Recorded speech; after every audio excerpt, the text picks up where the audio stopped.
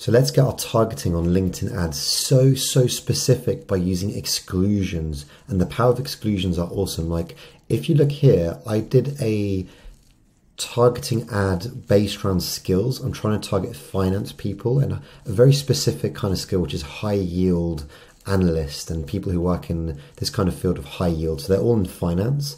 But when I look at the ads and they're kind of around the board, there's a lot of biz dev entrepreneurship and other stuff like that coming up. So what you can do is you can go to your ad and click on the demographics um, button, and it'll take you to this this dashboard here. And here you can look at the job functions, the job titles. The job titles look pretty good because if we're looking here, they're all quite senior members, um, but we're looking for a lot more like finance officers and this kind of stuff.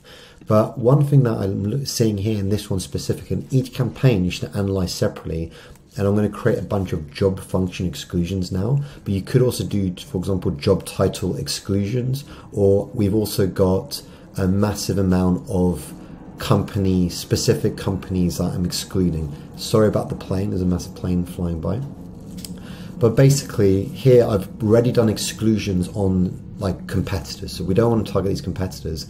But if you look here, I'm going to do currently I have a massive audience. I'm targeting here job seniorities with a very specific skill. It's high yield and high yield bonds. And we've been quite successful with this, but it's a really big audience in the US. It's 230,000. So it, what I did is came here, I checked what over the past month we've spent not a huge amount of money, a few grand, and but it's enough to give us some good data. And I've noticed that business development is taking a huge amount of the budget. People are clicking through business development and entrepreneurship. So if we come back here, we can literally just click on exclusions, um, exclude these people, and we come here and we go to biz dev, and it goes from two hundred thirty thousand to 130,000. So now we're getting our audience size more closer to what we wanted. We want it up to about 100,000 um, or a little bit less, 30 to 100,000. But that, excluding the biz dev, is going to have a massive, incredible impact. The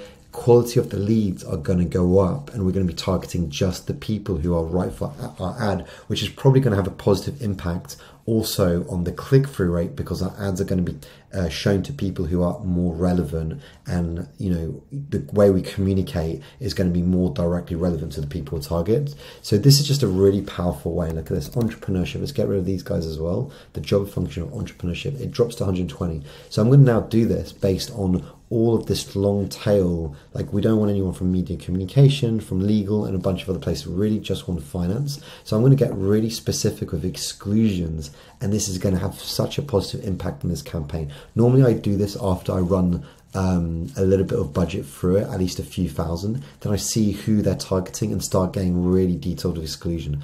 One thing I'd like to say, sometimes exclude based on job function, but this one is job function, but sometimes exclude on job title. If I'm going to look at the other campaigns now, this is my job this morning for this for this um, client, and I'm going to look at each campaign we're running, and I'm going to get really really specific with exclusions, so we get a higher click through rate, rate, and we start paying only for the leads, which is the leads we specifically want, which is what LinkedIn is really, really good at, which is getting us really high quality, very specifically the leads we want. This is why we pay the money we do on the platform. Hope this video is useful.